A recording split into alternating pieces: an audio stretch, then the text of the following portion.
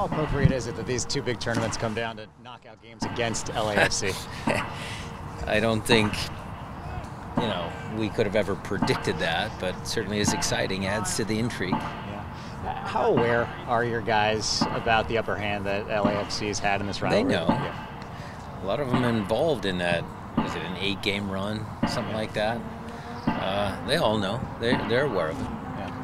Um, what did you guys learn from the last time you faced it? Uh, see that, that needs to improve this go this this go around. That was one of our. You know, we had a really good run of form, and then we built up the game, and hyped up the game, measure ourselves. You know, and then we fell flat. You know, the mistakes, the individual mistakes that we made in that game weren't, you know, weren't what we were all about. So, against a good team like LA, you have to play mistake free if you can. You know and uh, then on the flip side of that is when you have chances against them, if they happen to make a mistake, you got to make them pay. So just was backwards in that game.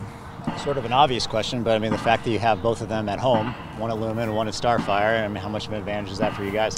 Two way different venues, yeah. both exciting games. Uh, hope everybody comes out to both of them.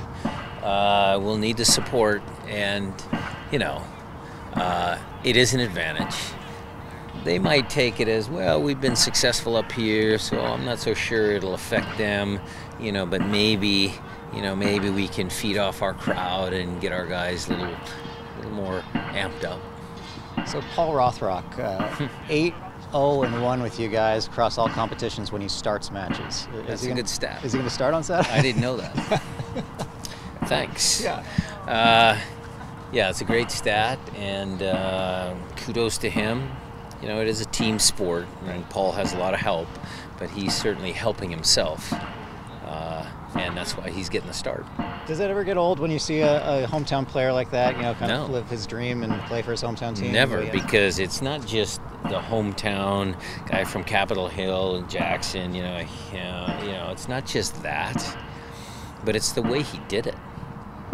Look, he, he might have been on his way out or you know struggle to you know regain form. I mean you know i think if i'm thinking back alex you know there was a spell where we didn't re-sign him right away and you know that kind of chip on his shoulder came back and now he's starting for us. A little bit similar to paul. I mean you could read the writing on the wall and he took control of his own career. And you got to give him credit for that. But there's a lot of guys that put the plan in place. Executing that plan is certainly the other part of that story. He went out and actually did it, and he's making plays in games now too. I saw Pedro involved in training today. How's yeah. he doing? Uh, look, it's probably a little early for Saturday, but he's getting closer. Uh, you know, injury report, Raul's in full, so he'll be fine. Pedro, let's see how the rest of the week goes.